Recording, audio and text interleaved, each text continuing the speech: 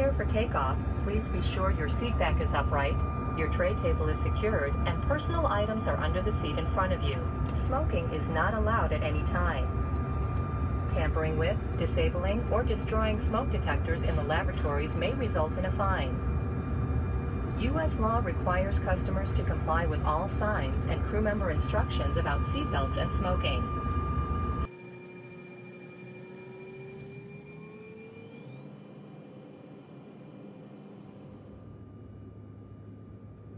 美国纽约时间二零一六年一月九日凌晨五点三十分，我又坐上了每年回家一次的飞机。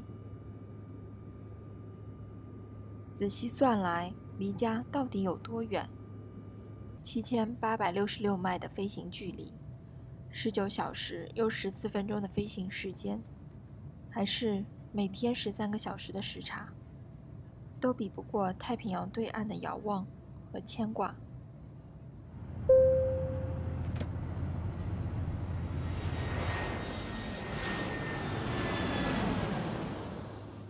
那个从小到大陪伴我成长的人，又在做什么呢？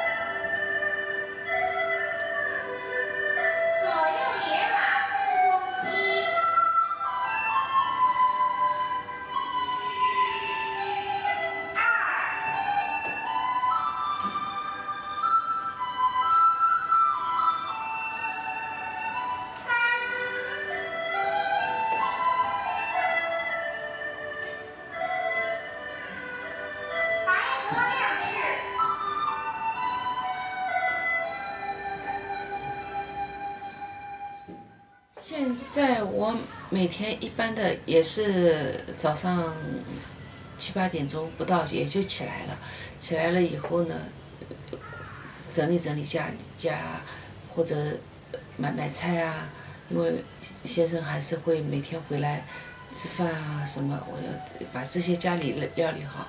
每周呢还有的四天左右，我会赶到天津路去参加一个学习。就学水粉、学画画、油画、学钢琴、学太极拳、健身操，参加这些学习。回到家里呢，再花点时间去练习。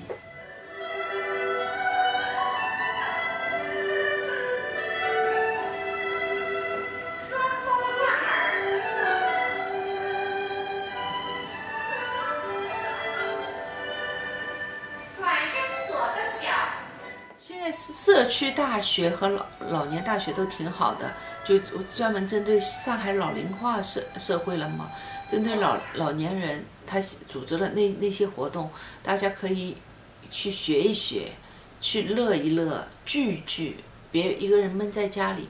我觉得这个课程还挺好的，特别是我报了，呃，太极拳班，因为我觉得年纪慢慢的大起来以后，锻炼身体还是很重要的。特别剧烈的运动好像也不行，身体吃不消的，那就太极拳那个幅度不是特别大，但可以静下心来，这还是很很国粹的东西，觉得去学一学还是有好处的。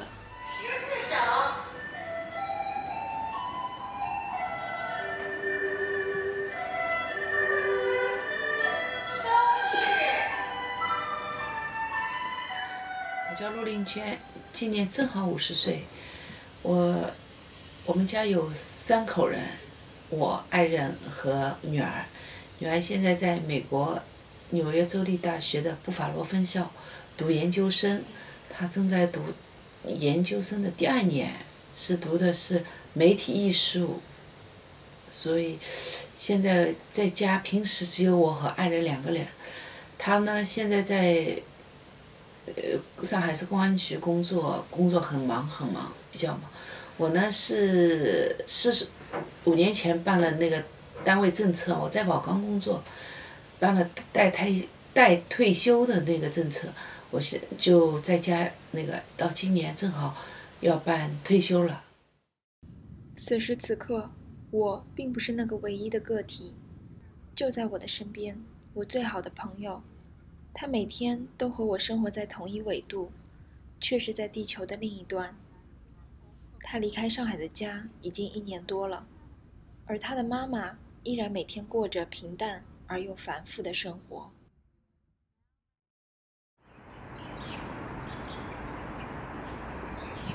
我平时也喜欢到里面学的。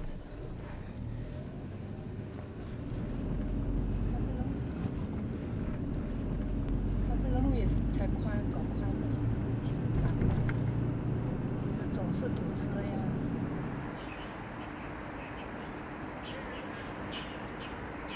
丝瓜的话，它比较软，它跟黄瓜的区别是它又长又软，所以你的外形的话要稍微柔软一点。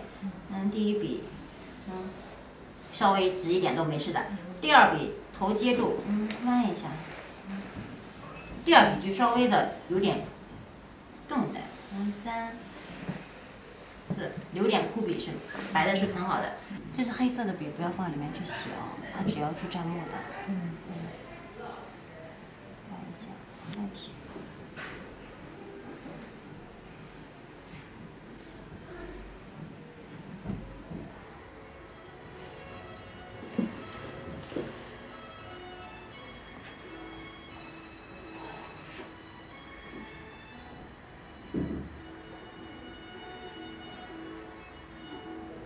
我姓名叫陈文，嗯，今年刚满五十二岁。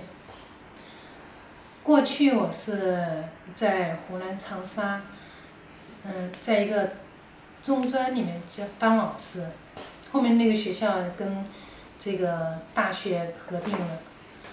零三年我就到上海了，然后在上海工作了四五年。由于小孩子，嗯，读高中以后呢，他他学校离我们家比较远嘛，所以就，嗯，每天开车要给他送饭啊，然后关照他呀，照顾他呀，所以就没上班了，就基本上就是在照顾他。现在就是小孩子工作了以后，我就没做事了，没工作嘛，没没上班了，然后就待在家里面，反正自己也也也有挺多事呃事情的。把自己工这个生活安排得很好啊，嗯，学这个，嗯，什么绘画呀，然后书法呀，在外面学点茶道啊，然后自己有的时候有时间弹弹钢琴啊，嗯，反正生活也也挺那个吧，比较安排的也还比较充实吧。这个放，这个这颜色都应应该要。颜色有点跟它一有点一样。一笔，两笔，三，四，五，嗯，中间是留一个花心在这，嗯，在这里边。嗯。嗯。现在的生活就是让自己开心、快乐，这是放在首位。就觉得生活好像很自然的，就是就这么这么过来的，没有特别什么雄很多雄伟的这种目标啊，远大的抱负啊，好像没有这样的。就是把自己的本职工作做好，啊把把孩子带好啊，然后过去可能就是把小孩子啊、学业啊，可能放的是第一位的，照顾他呀，怎么让他嗯这个学业比较好啊。嗯，我们家在我四十五岁的时候，我爸爸正好生生生了一场重病，而且很严重的毛病。那时候呢，正好因为我有这个契机嘛，单位有这个契机，可以让我选择在家里。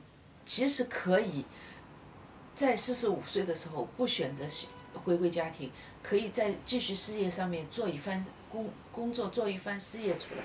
像我一直在单位是很努力，而且做的也非常好的一个状态。我和我弟弟，我们家也就只有我们两个孩子。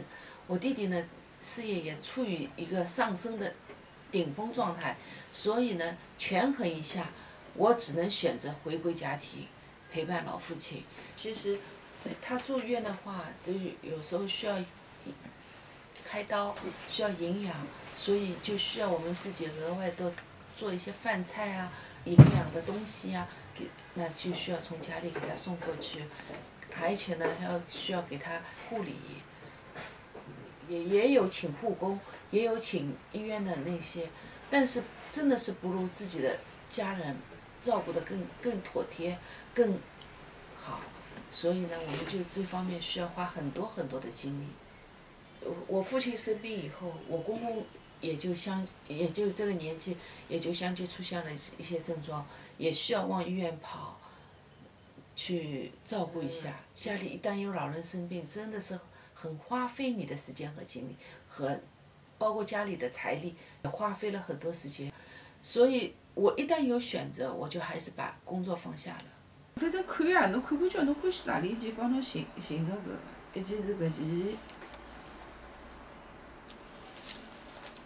搿件没帽子个就是，是搿能介个，那后头是没帽子个，搿搿件没有帽子个，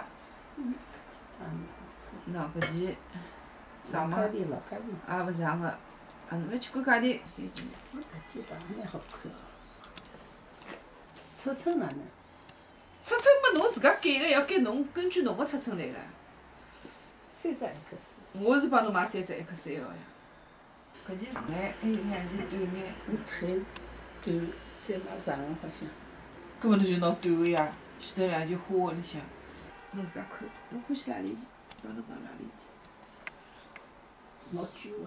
哎，侬勿要去管伊贵勿贵，侬就关键看侬自家欢喜何里件。搿讲了介简单个闲话了，一件有帽子，一件没帽子，侬自家拣一件伐？没帽子，戴帽子。根本就没帽子个咯。啊？嗯。衣裳好配个啥子对伐？好配伐？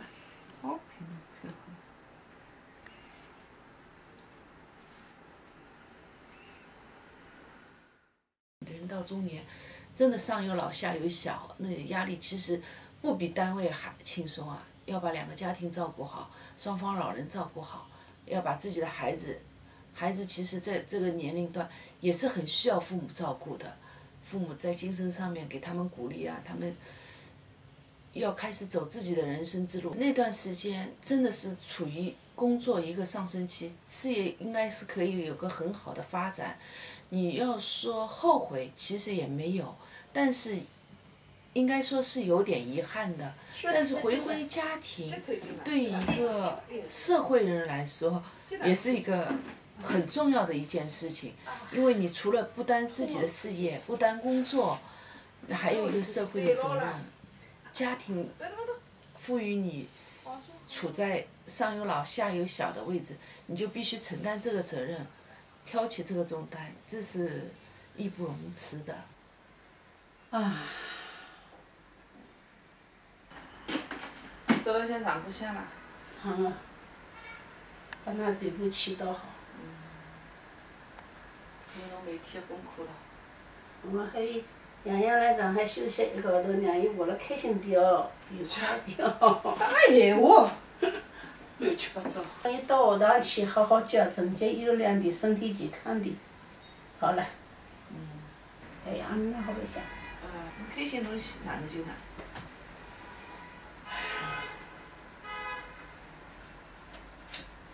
走不动么就少走走。就是腿太粗。腿粗侬叫伊洗也洗勿洗勿了个呀。都做过来个。搿两点麻油里向。太多来菜老娘。多少么子一点点一点点，我又不管多少，多少吃勿得。好嘞，我要米嘞。清爽点倒是清爽点好。对家里老人还是我们比较牵挂。说句老实话，像我妈妈什么，我们每天都有电话。因为现在年纪大嘛，他们也不太愿意和我们住在一起，因为生活习惯是不一样的，所以他们有他们自己的空间。所以我们每天还是要费心，毕竟年纪大了嘛，身体万一有个头痛脑热，还是比较令人担心的。从社会回归到家庭以后，相对老人离世以后啊，那个那些时间就真的比较空闲下来了，嗯，就感觉会有种失失落的感觉。从情绪上面说，这感觉还是很严重的，因为。一个你本来是每天很忙碌的生活，你一下子到等于不用工作的话，你就会有个很落差，你就觉得哦，好像被社会抛弃了那种感觉，会有会有绝对心里会有这种落差，就觉得没什么事干了。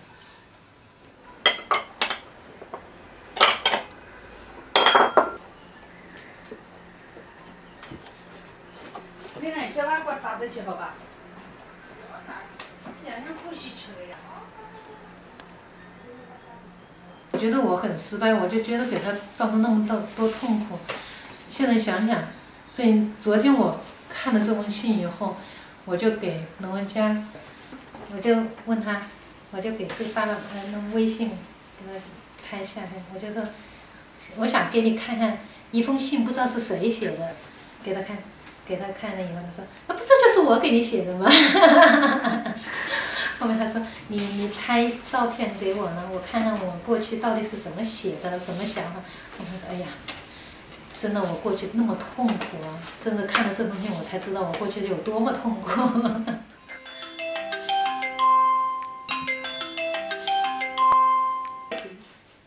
喂，嘿嘿嘿嘿嘿 你现在在哪里啊？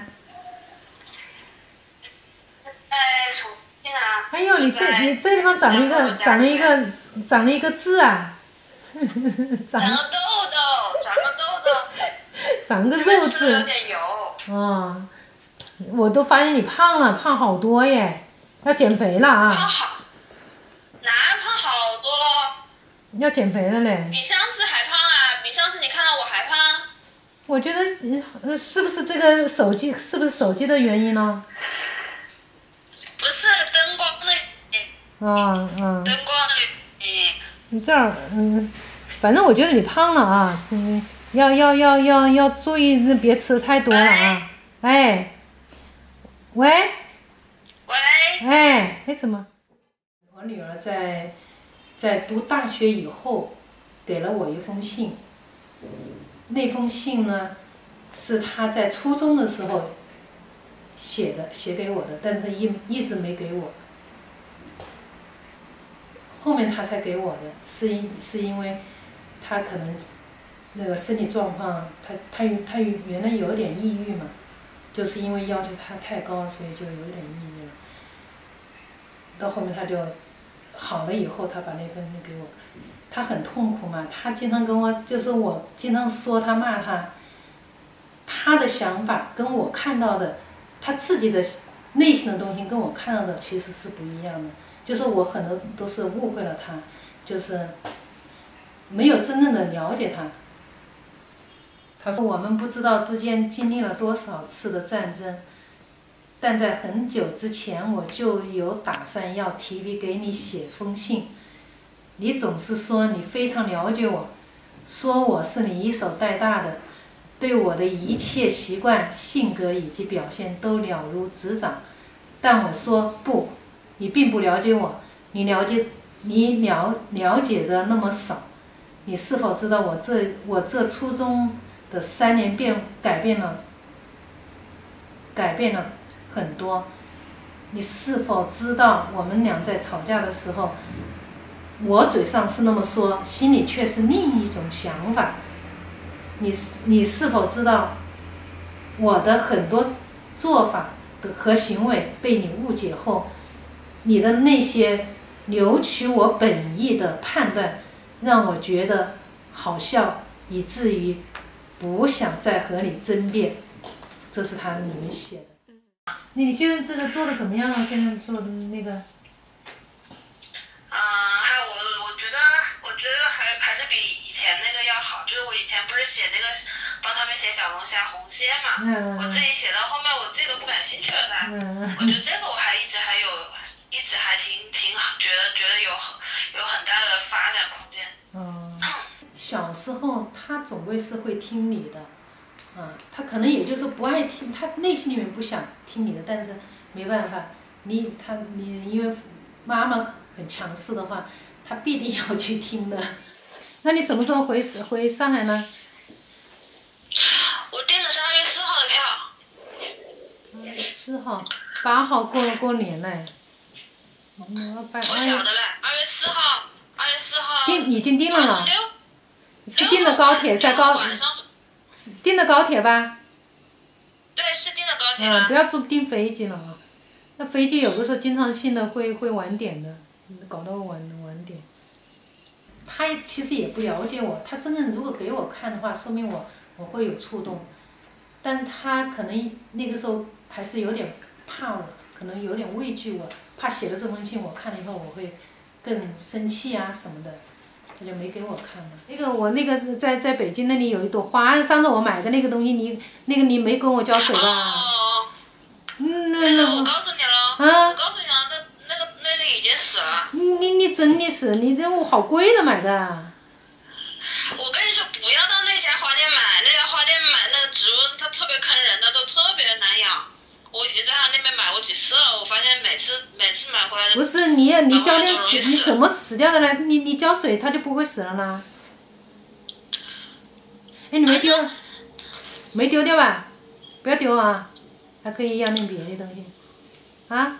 没有，那不会丢了，你那个花丢掉了？就里面那花都起都发霉了。我觉得我给他造成这么大的一个痛苦，我觉得我不是一个很好的母亲，有这种感觉。没有，至少没做一个很很合格的母亲的，只是说，嗯，什么都是从表面上说都是为他好，其实并不是，其实还是自己的一种叫什么，呃，其实都是为自己。自己的一个面子，对，就有资本有时候有点谈资啊，跟人家说话呀什么，这个这个是其实是人的内心的东西。嗯，好久没看到你的啦，九月份，没有啊，哦是我还不是十月份经常给你发照片吗？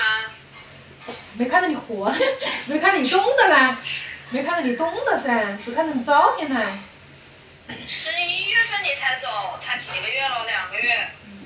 是啊，其实有的时候人受点挫挫折啊，不是坏事。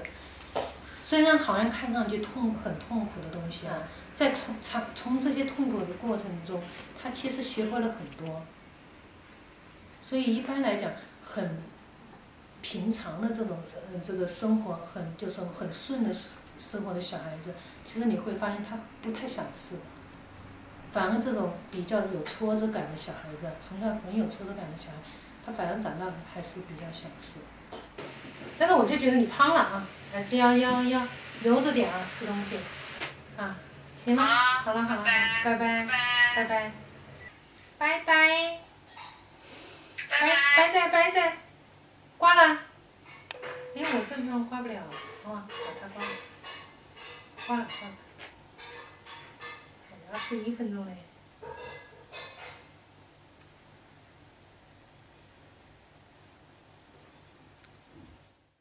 因为女儿出国了以后，也不能我们事无巨细的照顾她了，她自己照顾自己，自己对自己安排。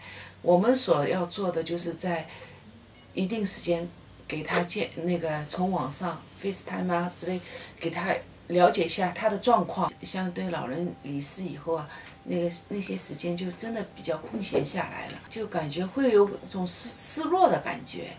这样呢，就安排一下自己学一些东西，不至于和社会太脱节、脱离社会，就学一些东西，学画画、学钢琴，这些都是女儿比较喜欢的东西，所以学了以后呢，可以和女儿保持有一些共同语言，能够互相沟通。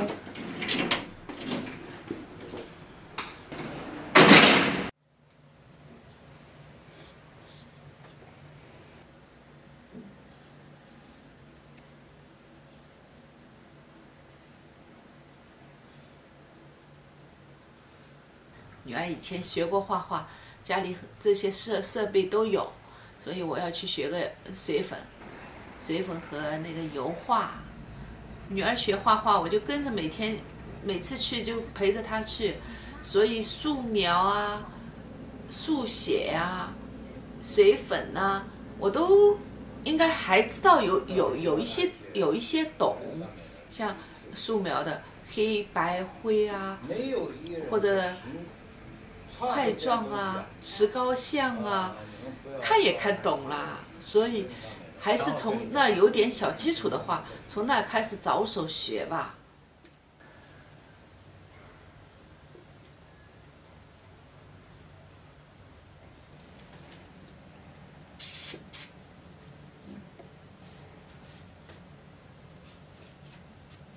画画学的比较晚一些，是小学五年级和初中了。他已经读了一段时间的书以后，我觉得光学课本里面的东西和学校里的东西真的是远远不够。作为一个孩子，他应该多接触各种东西，所以呢，就让他去学了画画。关键是什么？为他长大以后可以自己欣赏、去鉴别这些艺术的东西。所以让他学画画，要求要求是无止境的，你学的越好，越精越好，学的越高越好。但是人的精力是有限的，所以呢，其实最初也没有设定一定要达到怎么样的高度。最初的设定就是让他懂，能够长大以后在别人说这些东西的时候不陌生，这是我最初的初衷。一二三，好了，好，谢谢啊。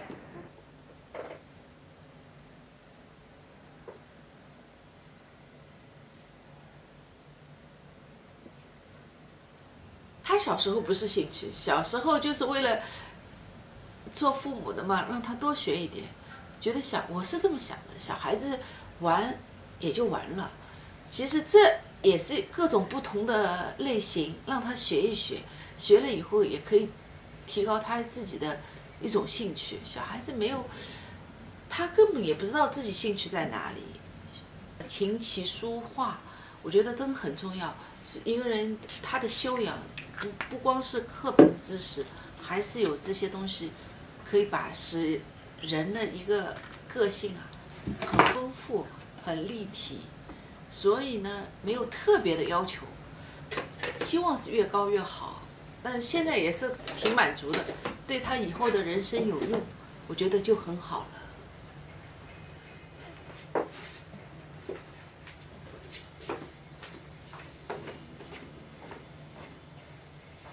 我大概在零六年吧，零六年就是农家去，嗯，小孩子去读高中的时候了。那个时候我没上班了嘛，那个时候开始学的，但是也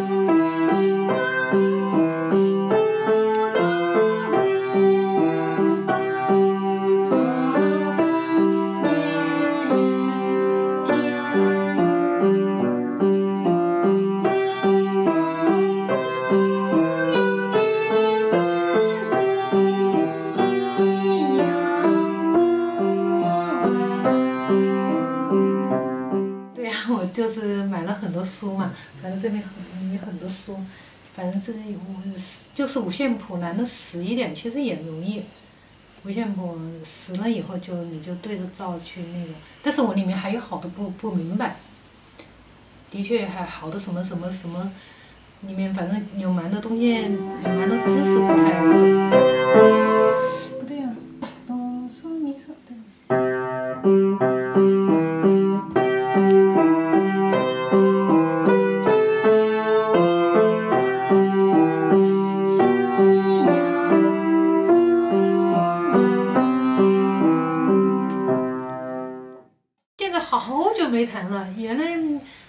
时间弹的时候，我觉得还是很有意，蛮觉得蛮有趣味的，蛮有意思的。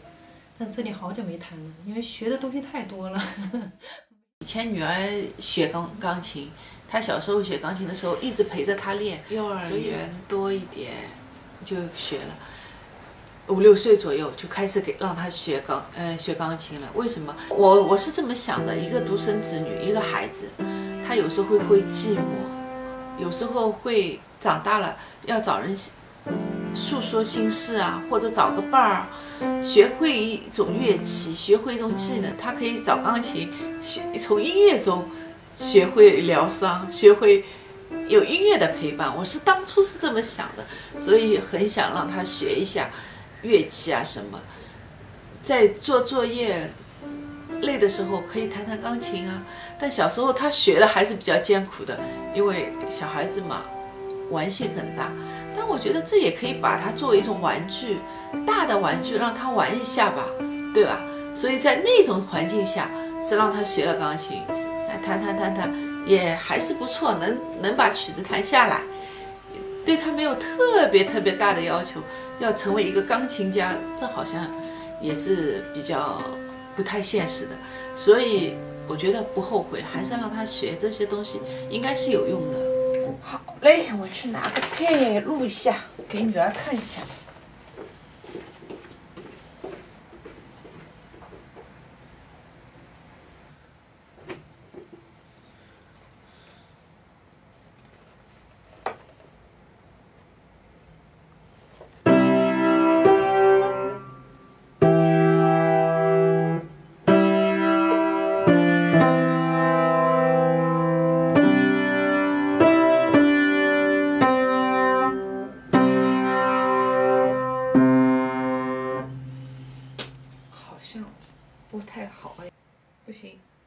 要来一下，这个不行。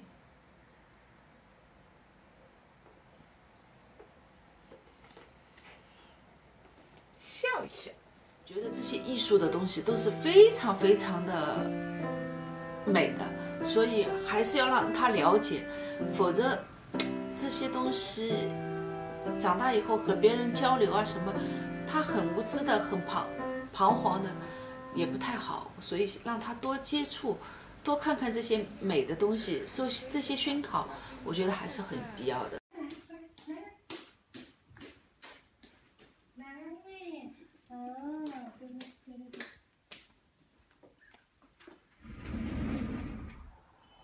咪来来来，咪咪来这，咪咪，咪咪，咪，咪，这边来这边来，呱呱呱呱呱，来快来快来，快来。嗯，我跑哪里了？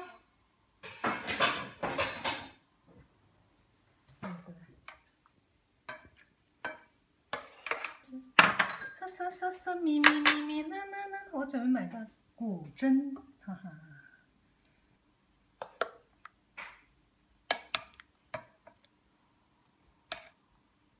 给你们吃啊，给你们吃啊。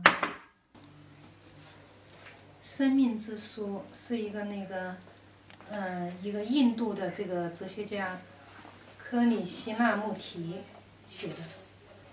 这本书还是挺好的。这里解释了一个什么叫做爱，跟小孩子之间的距离的恐惧，小孩子生活的不放心，这都属于恐惧。你像啊，很多我们现代人理解的《道德经》里面的很多一些句子吧，都是都理解错误了。比如说，嗯，人不为己，天诛地灭吧。好像我们我们现在人就说人要自私，不自私就天都会灭你，不是这么回事，是什么意思啊？就是说，天人不为己，不是为己，是为，就是说人要做人的样子。你你是是不是那我们都把那个句话那个嘛？他就人要做人的样子，你就说你不是动物，你是人，你要做的像个人，否则的话天都会灭你。同志们、朋友们、女士们、先生们，再过几个小时，新年的钟声就要敲响了。我们即将告别2015年，迎来2016年的第一缕阳光。发展思想，坚持创新、协调、呀新绿年色、马上要开放、到了共享新年的发快乐新展理念年快乐，坚持稳增长、促改革的旗帜，扩大同世界各国利益交汇点，推动构建人类命运共同体。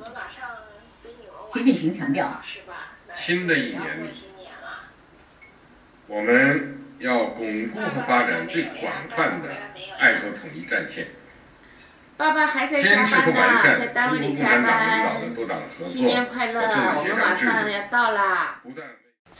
平时在生活中，我先生他工作时间很忙的，在我们休息的时候，他经常是要加班的。节假日，因为他有特殊的需要，因为搞公安的嘛，他有特殊性，所以在单位加班啊、备勤的时间很多。所以像元旦啊、春节啊，我们休息，他基本上都要在单位保证人民的安全嘛。三十一号、一号基本上都是我一个人在家里。一号早上嘛，新年第一天嘛，去下海庙，我们经常烧烧香的地方去烧个香，新年到菩萨那里去祈福一下，新年顺顺利利、平平安安。女儿在美国也也顺顺利利，顺便给她祈福一下，新年能碰到一个好的男朋友，也没什么其他的那个，就是平安健康顺利。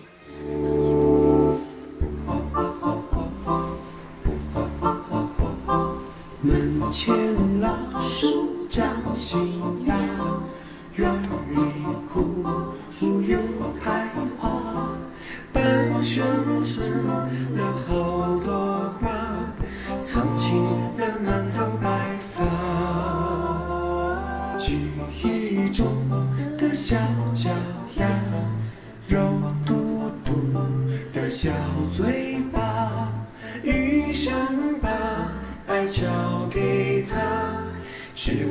那一声爸妈。时间都去哪了？还没好好感受，年轻就老了。生儿养女一辈子，满脑子都是孩子哭了笑。到北京去陪小孩子。他一年都要几个月，然后有时候我还到我父母那边去。这到上海其实待的时间不多，待在这里也就是学学画画呀，学书法呀。原来过过去在当老师的时候，因为我我那个时候学教学的那个计算机，那考核的时候，那我还是希希望自己教的学生啊，就是能够那个通过率比较高嘛。所以我这一点我在学校里面是是比较好强的，而且对小孩的要求也是比较好强的。从小孩子教育上面，我也觉得从小也是反正要求他比较高。好强的话，说实在的，就是有的时候是好事，有的时候也不是好事。在工作上面，如果适当的好点强，我觉得还是应该的。但是在生活上面，如果太好强，那那可能就会要失去很多。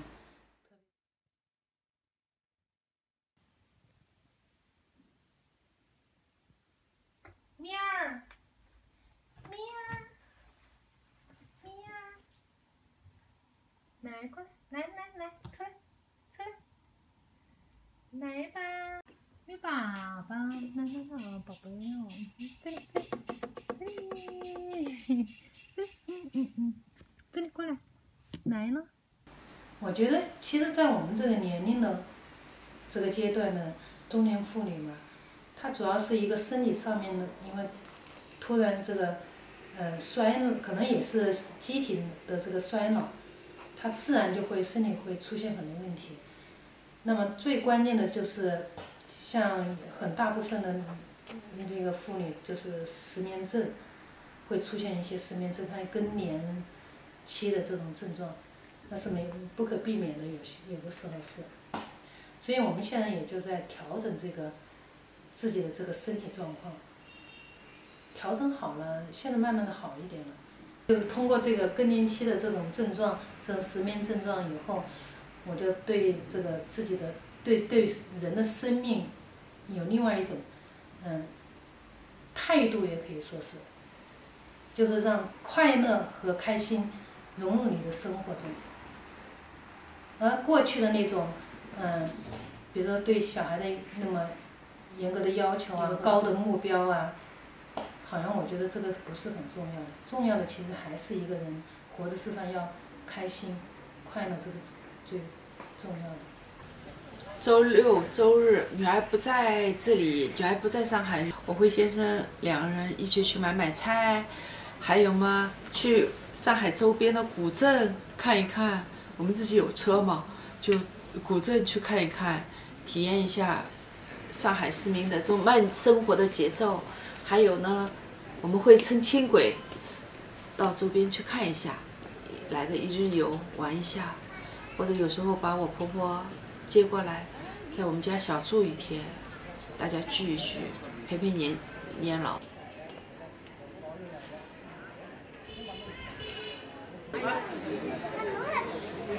在有的有的社区都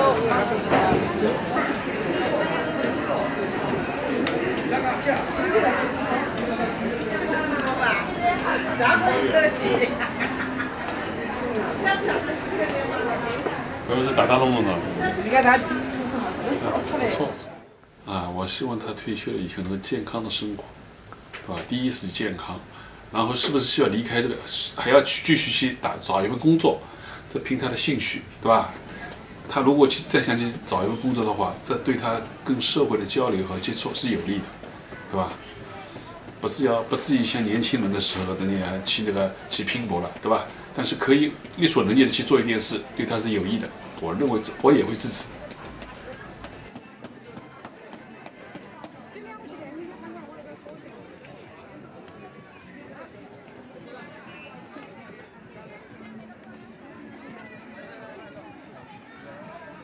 培养爱好也很主要的。一个人的生活，你可能啊退休是必然的事情，可能五十岁不退休，希望他能五十五岁退休，或者希望他能六十岁退休。但是六十岁到他呃那个那个生命的终止还有一段时间了，这段时间的时候要培养他的一些爱好，对吧？我觉得个人爱好是很主要的。没有没有爱好，没有爱好的人，他不会很积极的，不会很积极追求一样东西的。我觉得他培养爱好还是很主要的，不管是画画还是照去摄影。还是什么喜欢打毛衣啊？只要一种，只要是他喜欢的，又有要有一点爱好，这个爱好的产生就是什么今后的生活的动力，他会有生活生生活的动力的，对吧？你仅仅停留在挣钱挣钱，永远挣钱的基础上，钱永远是挣不完的。就用砖垒起来，一个是健康的身心，另外一个就培养自己，要是有自己的爱好，对吧？我可以钓钓鱼啊，对吧？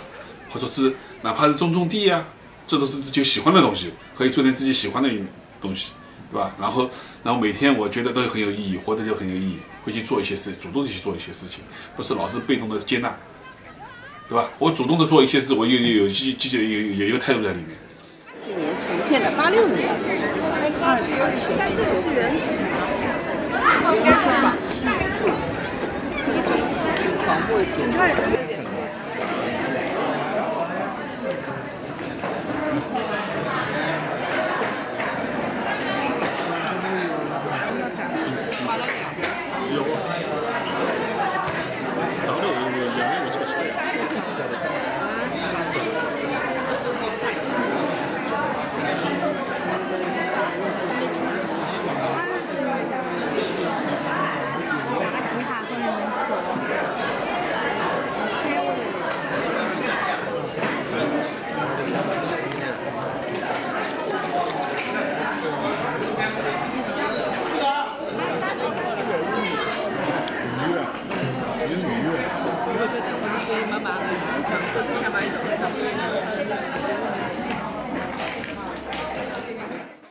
很早，大概在高中的时候，我就感觉到他喜欢电影。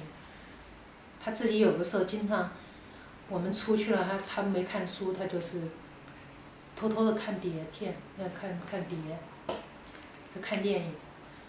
所以我就觉得有几次被我抓到，气死了。那个时候，那个时候我对他要求挺高的，嗯，但是我就发现他比较喜欢看电影，所以到后面他读了读大学的时候。那选专业，他也是，就是要选搞媒体，跟电影有关的，反正媒体方面的一些东西。后面就学了媒体，然后感觉到在大学期间，他，我就觉得他对电影好像挺感兴趣的，所以我就支持他，然后鼓励他去学电影。他自己也很想学电影，他所以就到北京电影学院去进修。到北京去进修的，北京电影学院进修的照片。毕业了，我们作为家长的话呢，还是希望他能够学他自己喜爱的东西，嗯，干他也还擅长的这个工作。九号，明早囡恩回来了，明早囡恩回来了，明早去接伊了。你搿趟我就好休息几天了，休息一个号头左右。囡恩回来了。工作嘛，做一做，我准备工作，赶紧嘛看一看。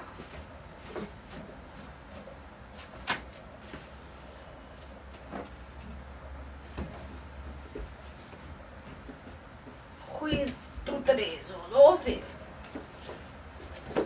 还记得呀，那个卡，哎呀，应该是有一些牺牲，为为了家庭也也好，为了自己的父母也好，但我觉得还是比较值得的。亲情对我来说还是很重要的，我觉得这我一点都不后悔。尽管在事业上面损失了五年的时间啊，我觉得生活就是这样。其实开开心心、快快乐乐过好每一天，尽管是平平淡淡的，但是这就是生活，也不会是每天轰轰烈烈的，这好像是不现实的。现实生活不是电视剧，就应该是平平淡淡的，踏踏实实过好每一天。我觉得这是很重要的。我去年花了两个月的时间去美国看了一下女儿，去了解了一下她的生活，她在那边的情况。我想象一个留学生在那会比较辛苦，但比我想象的更更更更要厉害一点。读书啊，学习啊，他的生活还是非常有紧张、非常有压力的，比我想象更更更厉害一点。现在最大的愿望就是我们全家身体健康，孩子学业有成，他自己能够有一份很很好的事业，能把自己的生活安排的井井有条，这应该是目前我最大的希望了。其实送他出去读书以后，他自己对他来说眼界开阔了。我觉得这还是很重要的，尽管花了很多钱，但是呢，对他能开阔眼界，作作为一个年轻人，我觉得这还是很需要，这笔钱还是有必要花的，因为闭关自守嘛，就容易自我满足，出去看一下，学一学，看看外面的世界，世界这么大，世界多精彩，还是有好处的。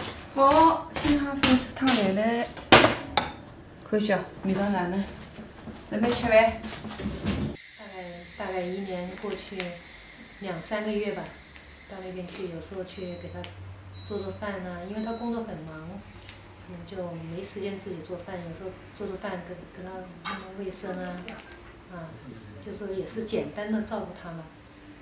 小孩子过去都是，嗯、我们照顾的比较多，总是基本上都是在我们身边，嗯、没有离开过我们，所以我们就离开了以后，肯定会多多少少内心里面肯定是会有不一样的感觉。刚开始嘛，就是觉得他应该在身边，就放心，然后离开我们，我们总觉得有点不放心，所以就是那种心总是要挂念着他。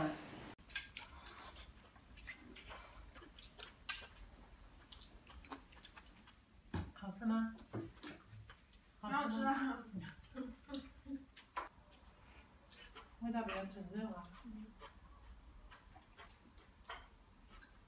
从内心来讲的话呢，嗯，当然希望他能够在身边工作啊，我我们能够经常看得到他，那当然这是我们做父母的肯定是希望这一点。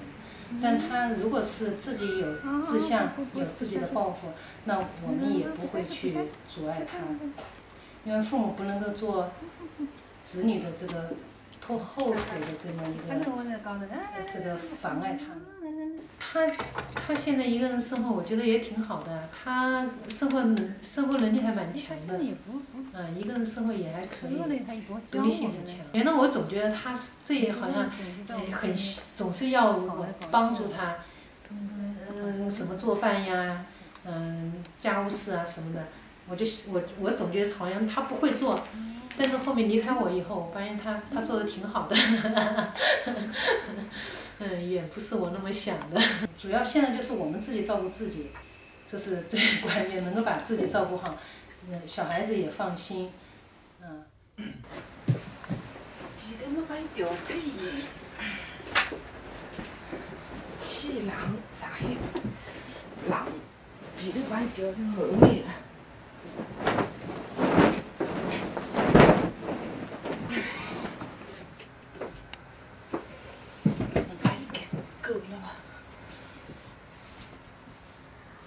胃未来我不能替他规划，还是要他自己，因为他自己有独立的人格、独立的思想，他自己要去考虑。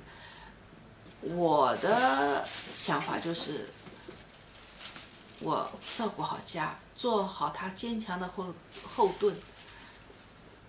妈妈的家永远是他可以回来的安全的港湾，这还是很重要的。我的想法就是这样，他以后他有自己的家，有自己的天，有自己的地，但是妈妈永远这里是妈妈的家，永远是她最可以依赖的地方。还有两个大的同心结，放在这里吧，换一下吧。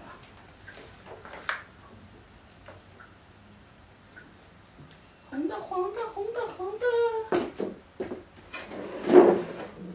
啊，红红火火的辣椒。我女儿将来最大的期望就是说，她能够凭自己的个人的能力，她现在很辛苦啊，她在那儿学习，特别的辛苦。我知道，白天打工，晚上还要读研究生，特别的辛苦。但我希望她这些辛苦这段时间的劳累，化作她的以后的那种收获，能依靠她自己个人的能力，活得特别精彩，活得特别轻松。我觉得这是我最大的希望。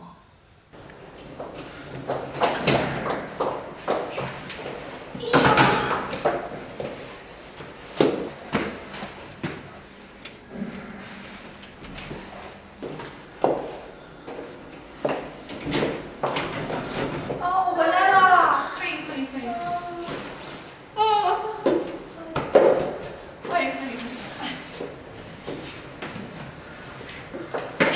哎呦，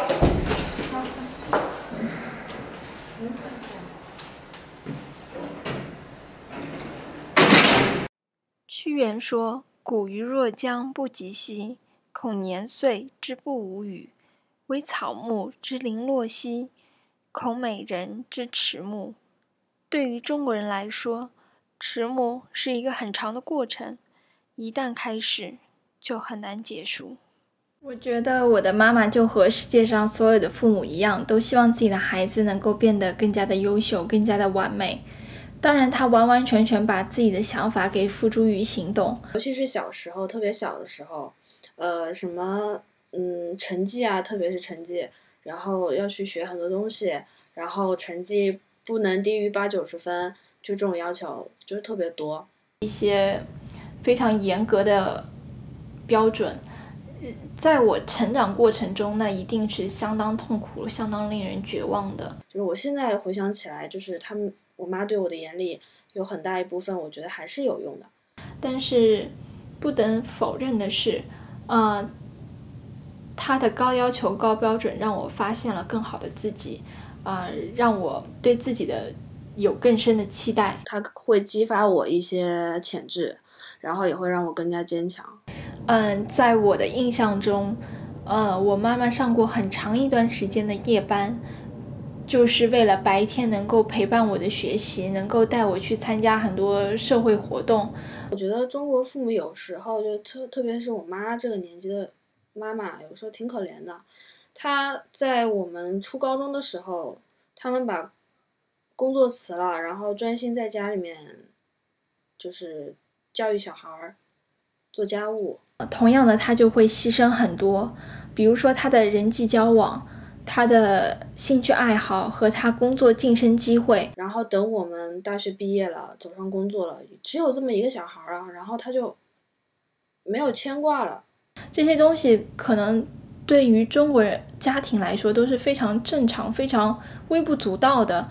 他们习惯于就是在他们中年的时候照顾照照顾子女，生活重心几乎都在子女身上。那他到了他们现在就子女都工作了，然后他们能他们能想什么呢？他们他他们就是如何最好的把自己的生活挪到他们自己身上，就这个是个问题。